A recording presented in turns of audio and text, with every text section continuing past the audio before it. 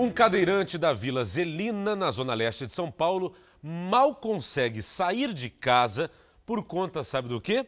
Das calçadas e das ruas estreitas e esburacadas. É um drama vivido diariamente, não só por ele, mas por muitos deficientes aqui na nossa capital e na região metropolitana. As calçadas são muito ruins, quando não inclinadas demais a ponto de não conseguirem passar com as cadeiras.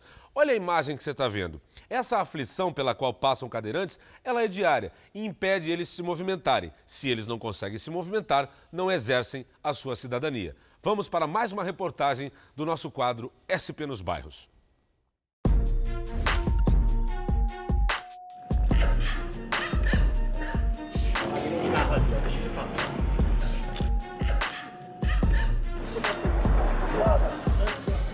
Eu sou cadeirante desde os 18 anos e eu sofri um acidente 5 de dezembro de 1999 e a partir da, da, daquele dia, infelizmente, eu passei a, a ficar paraplégico.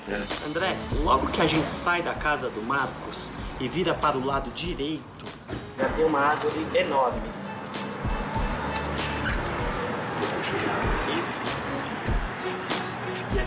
estreito para passar, né Marcos? Sim.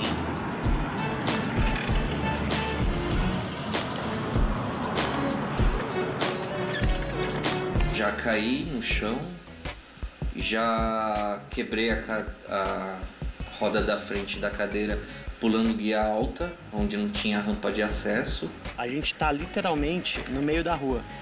Não dá para andar pelas calçadas, tentamos, mas fica estreito para ele passar.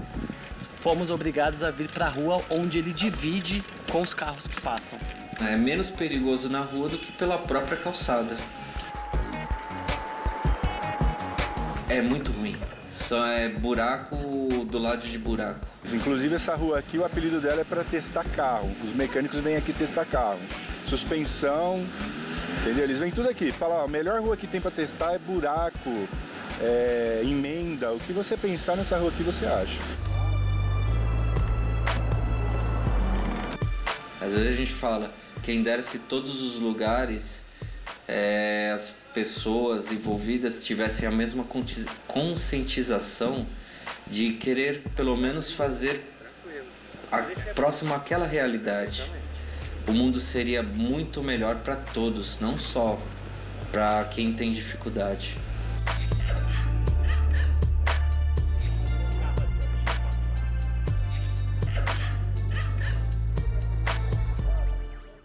Aos poucos vamos evoluindo na inclusão dessas pessoas na nossa sociedade.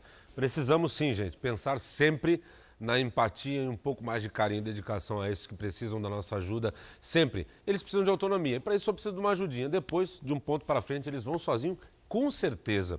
Nós pedimos uma posição para a subprefeitura da Vila Prudente e estamos até agora esperando a resposta.